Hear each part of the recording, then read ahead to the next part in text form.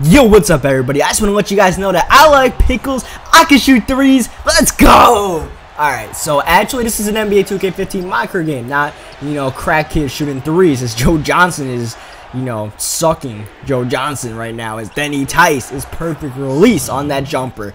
So we are in game four, and jokes aside, we got to come out serious in this game because we cannot let the Bucks think they have a chance. If we give up this game, the Bucks are, it's a 50-50. It's a toss-up. It's a best of three series, and I don't want to be a part of that right now. So we got to maintain what we earned back in the last game, which was home court advantage, and try to just shut up this Bucks crowd. You know, they're not exactly the best home court advantage. You know, when the they play the Bulls, it's usually more Bulls fans in the Bucks stadium. But um, you know, they got a nice young squad, and it doesn't matter what home court advantage they got.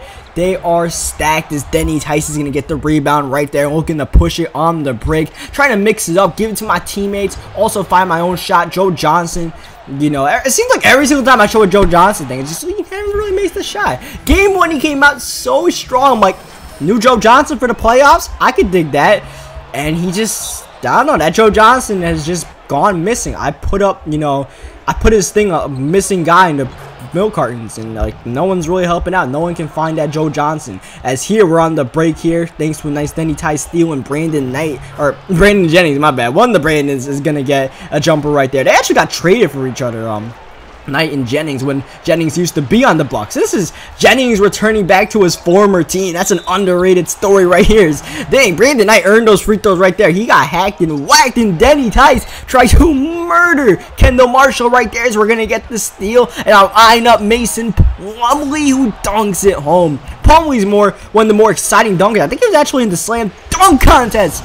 And Denny Tice is also one of the more exciting dunkers in the league as we give it to Stokes and Stokes. He tried to get frisky, but um, can't really do a standing dunk outside the paint. That's not how it works, man. As we throw a turnover right there. Second turnover of the game. Trying to make sure we don't have too, too many turnovers because we did struggle with turnovers the last game, even though we did win. Early on, we're down seven right now. Denny Tice in the corner. I wanted that three, but if I took it, I would have faded. Instead, we find Deron Williams, who misses the wide open three. And once again, they double team off of Deron Williams. And I got to give him the shot the end of the quarter. And Deron Williams is going to make it a four point game. Heading into the locker room at half, pump faking, finding Brook Lopez. And Brooks got this sweet mid range jumper. I think he. I don't think he, I don't know if he caught glass, but um, he hit off glasses. Brandon Knight is going to knock down that shot. They said I allowed man to score, but I thought I did a decent job. Like right there, we shut down Weaver, but he gets back his own miss. And Dwight Howard is going to get an and one instead. Oh, you got to get those loose balls. Loose balls can decide games that are close like this one as we find Joe Johnson pulling up the mid-range jumper. And Joe actually knocks down the shot. We can't, I mean, I'm I don't want to trash talk Joe Johnson every single video, man, but he's got to make his jumpers. Like right here, you're going to pull up that shot, you got to make it. And Joe Johnson's starting to feel a little bit. And I like that. I like that.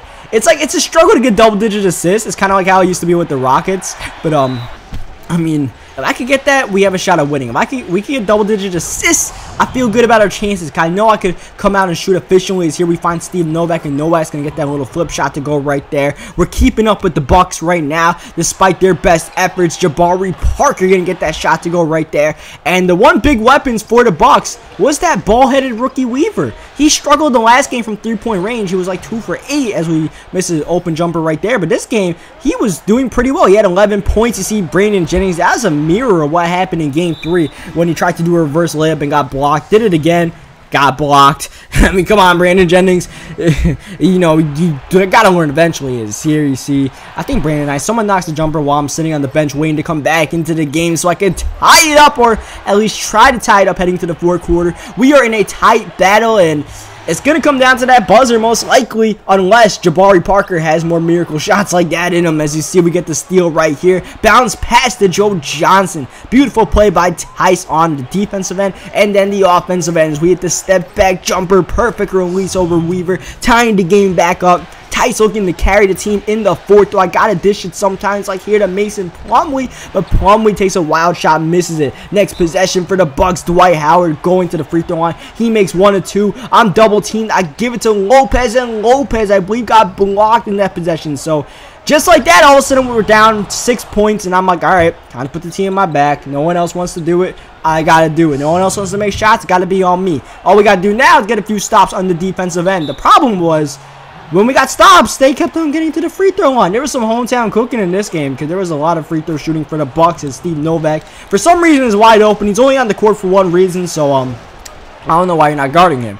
you know, you got to stay tight on that man, Jabari Parker. They swing the ball, but Jabari can't get the three. But instead, Henson just flips up a shot and gets the draw to foul right there. Henson, I believe, knocked down both free throws. Jabari Parker making it an eight-point game. Denny Tice to slice through the traffic and make it back a six-point game.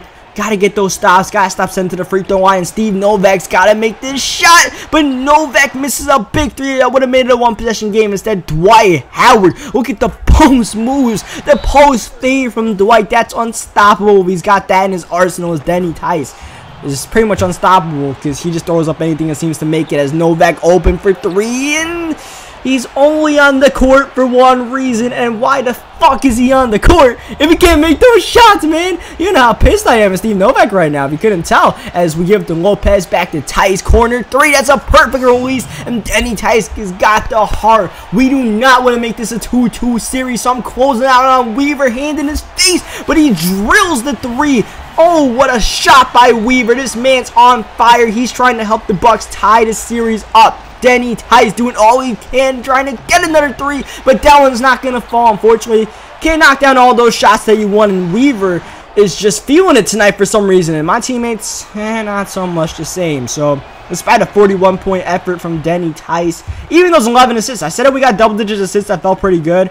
Problem was, the Bucks were just that much better offensively. They're about to get their 105 points. Uh, actually, they don't get it, but they were trying to get the 105 point. Once they get over 100 in this thing, you know, that means they do pretty good. As we had a little bit of a chance there, we could have gotten that shot to go from Joe, but Joe tried to take a two first of all, and then he missed it anyway. So that'll do for this game. Series is tied 2-2.